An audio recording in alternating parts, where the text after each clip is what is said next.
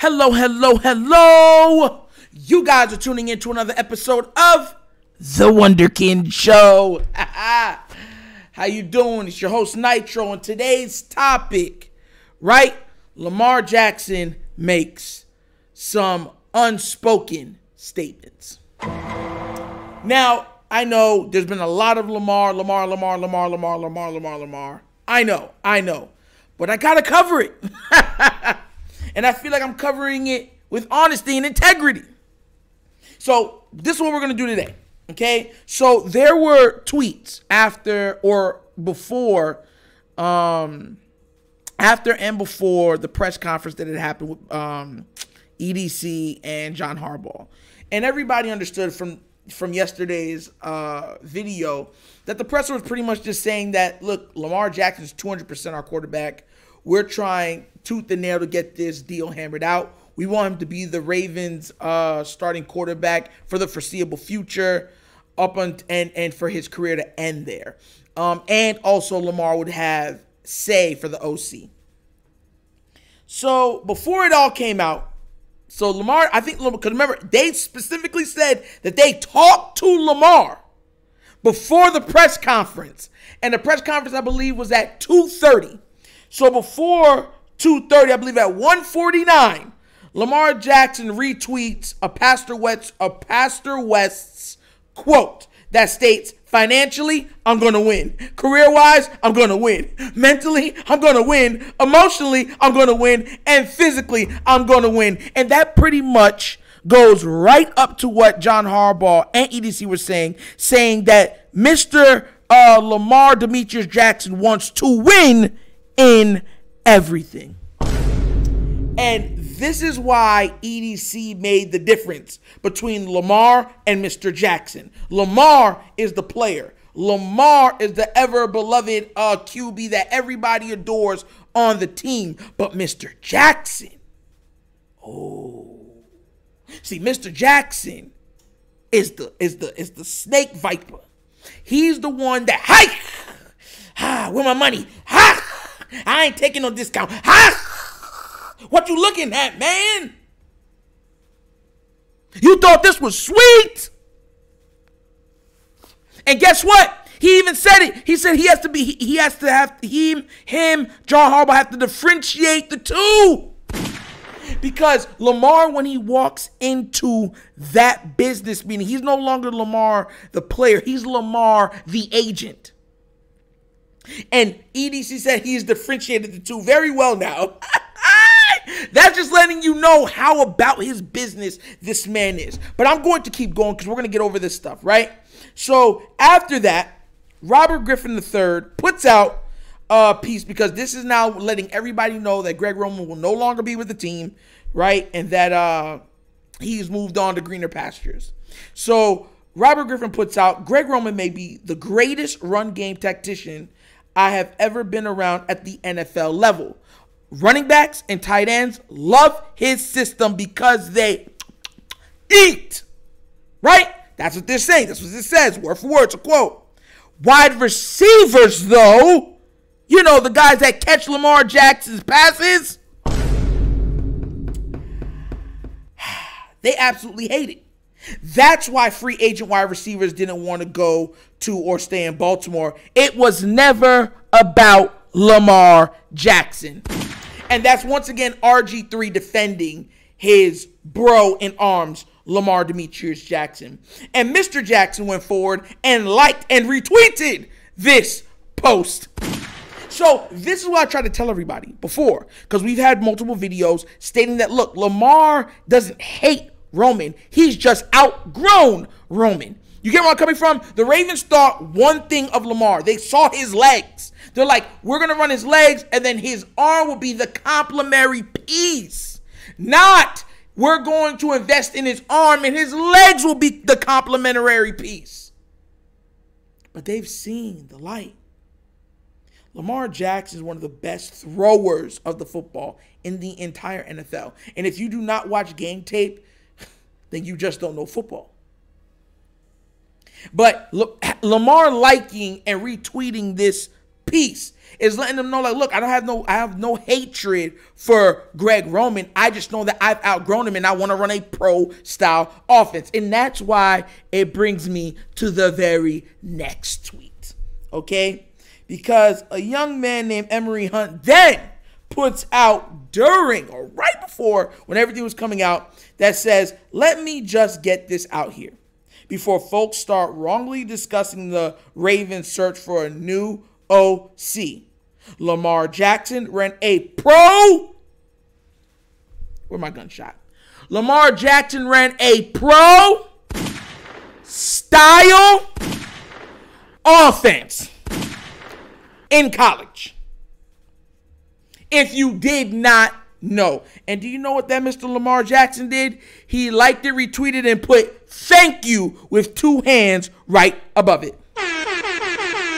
Now, this hits at different levels because this is what I've been trying to tell everybody when everyone, you know, so many media analysts come on. and you guys have heard it. Oh, this offense was built for Lamar. Like, no, it was not. It's the same offense that was in Buffalo, the same offense that was in San Fran with Colin Kaepernick. But they make it seem that the Ravens made a specific offense with such intelligent intelligence for Lamar Jackson to get the most out of his very unique play style. And that play style is the only play style in which he could play in.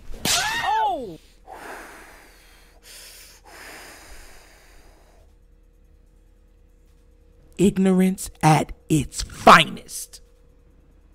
Because Lamar Jackson is not a running back. Lamar Jackson is not a wide receiver. Lamar Jackson is an NFL starting former league MVP, league leading touchdown passer, quarterback. Have you guys ever noticed that in the media, when it comes to Lamar, they start putting him in separate categories, unlike his other um, counterparts? Oh, he wins a lot, but it's not like he's passing for those yards. But what about his touchdowns? Well, you know, those are short touchdowns. He's not really good at the deep throws.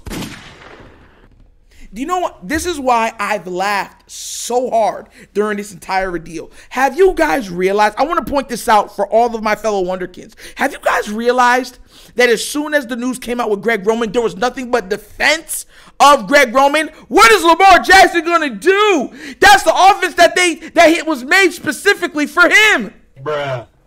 He can't run anything else. Bruh. What are they going to do? Bruh. How can they pay him if they can't run him? Bruh. Oh God! And if you guys think that I'm exaggerating or putting any more emphasis on this than it needs to be had, turn your head no further than one named Emmanuel Acho that did an entire segment with other former NFL player and NFL insiders about the subject in which I am speaking about.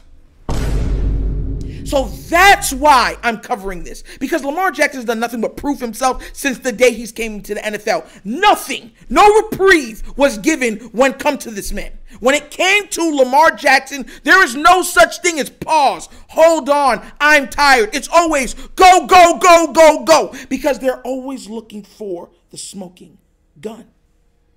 They are always looking for the lie, the misrepresentation,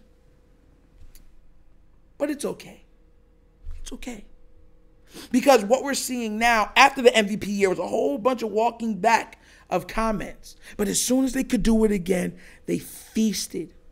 Because they believe, hey, we got the upper hand on him in the media. We can double down on what we used to say and just say, oh, he had a great year, breakout year, Cinderella year, and, you know. Think about this. I want y'all to see what this is coming from. Most of them do not even want to. They're saying it now, like, oh, I want to see him with the wide receiver. Most of them didn't want him to have that. They were saying, oh, they've done so much for him in Baltimore. Lamar's telling y'all, nah, I haven't, no, I haven't had the comparable help that my counterparts have or even had. And now you're getting reports and also was stated inside of the presser that the there's going to be an entire overhaul of the wide receiving corps. Lamar Jackson is speaking loudly with his silence and tweets. He doesn't have to say really much. He can just retweet something that he sees that his whole point gets right across. Clear as day. I'm talking about clear as a summer midday with a slight breeze during a picnic with one of your loved ones. Clear skies, white clouds. And he's been doing it with the expertise of someone that's been doing it for years. That's I think that's the frustrating part that people have with Lamar because what they've done is even the way that they say, oh, Stephen A touched on it and said, oh, he he doesn't have the acumen to walk in there as an agent or something like that. You have judged this man by looks alone. And what I mean by that is he wears the chains. He has the hair braided down south southern draw as he speaks. But everybody around him be like, this, this is a very intelligent young man, extremely intelligent. You see, I, I tell this to people right now. They always say, don't judge a book by its cover, but the cover is not even bad. What you're correlating it to are um, hip hop stars and such or people that you think do, do not have the intellectual um, acumen to be in the position in which he is in. Why do you think you've heard so many people across platform? Oh, if there wasn't for football, he'd be nothing, or certain things of that effect, because they believe that only because of his physical attributes, his mind is nowhere near his phys- physical ability. So they take shots saying that, oh, remember when he was coming out of college, you can't even say, oh, Nitro, I think you're going too far. When he was coming out of college, one of the knocks that they were trying to say, it was never a knock in college, but when he went to the NFL combine was that how are they going to understand it when he talks? Can he actually learn an NFL playbook in its entirety? Oh, of course he can. Can he actually throw the ball at NFL level? Oh. You know he could.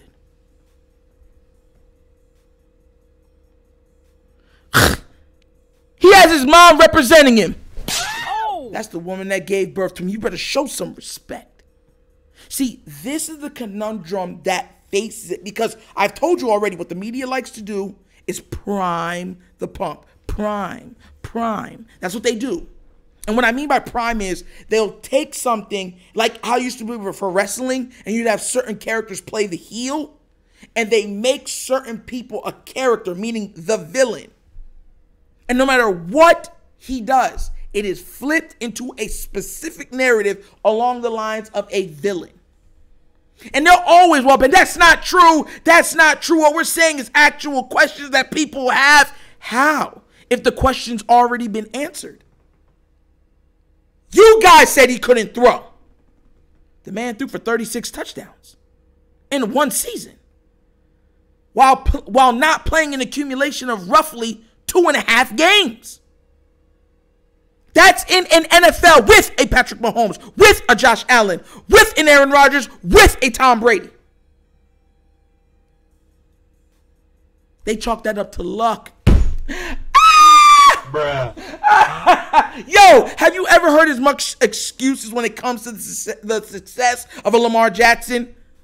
Ah, they just get lucky, man, because of the run game.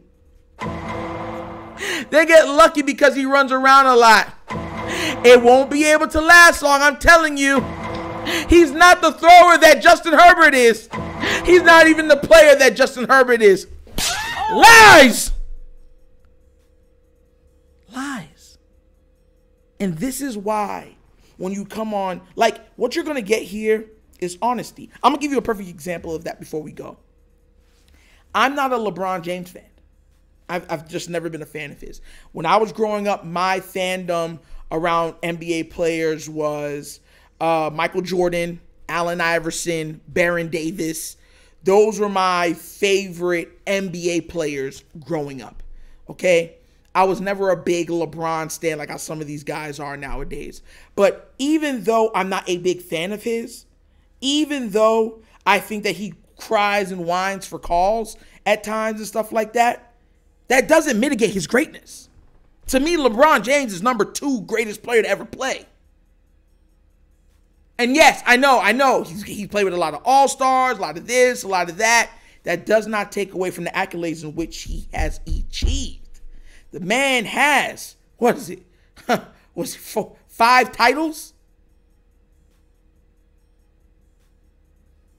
Four? Is it four? Yeah, one with Cleveland, one with the Lakers, two with the Heat. Yeah, the man has four titles, MVPs out the wazoo, led the league in scoring, has led the league in assists, leading all time point over Kareem. And I'm not a LeBron fan. But I can recognize his greatness without degrading the name and the and the person in which he stands for. You see, that's where a lot of people lose. Even if you didn't like somebody like a Lamar, right? Even if you didn't like him, to make the insinuation that NFL defenses are so stupid that they can't adjust to somebody that can't throw. Seriously? Seriously? He's been nothing but a model citizen. The guy has been the heartbeat, the heart pulse uh, of the city of Baltimore. And everybody around him absolutely adores him, wants to play with him. So then, after a while, all Lamar Jackson is doing, like in these tweets, are reaffirming our beliefs. He's a pro quarterback that can run as a complementary piece in case things break down. He believes himself to be such. He plays his game as such, and multiple former players, including your guys' GOAT, have came out and said, look, that guy is next. That's what Tom Brady. Imagine this, right? If you take the top 10 QBs of all time, Tom Brady's on that list, Steve Young is on that list. Both of them. Steve Young has said, look, man, he can go down as the greatest player this game has ever seen. Tom Brady goes, Bro, you're next. You think that's coincidence? Seriously. Seriously. Do you think that Steve Young is just going off of a narrative and so is Tom Brady? So, what you're now saying, you're questioning the football acumen of Tom Brady and Steve Young. And they were called two of the smartest quarterbacks. Peyton Manning himself said the same thing. Like, he could just do things other quarterbacks can't do. He could do everything the normal QB could do and more. Don't try what he does at home. So, okay. So, Peyton Manning, Steve Young, and Tom Brady is lying to you guys. I'm telling y'all, ignorance is bliss. Was another episode of The Wunderkind Show. Yes, sir. Thank you guys for tuning in. Like always, you guys are amazing. You can be anywhere else in the world, but you're here with me, and you know I appreciate that. Please do remember, though, like, subscribe, hit that notification bell, and leave a comment. You do know that I will respond to them. I have fun talking to you guys in the comment section. Just please be cordial to everybody else and be respectful. That's all I ask. And for the other people that would actually like to leave a monetary donation, to the show to help the platform grow. Down here is a QR code. In the description is the Cash App for it. Money sign. The Wunderkind Show. Because we're almost at a thousand, but we're not a thousand yet. So this is not a monetized uh, platform. So this is another way for us to generate generate uh, funds to help the channel grow. That's all that is. All right. So once again, this is the Wunderkind Show. This is your host Nitro signing off, and you guys knows my slogan. Peace and I'm out of here. Till next time, yeah!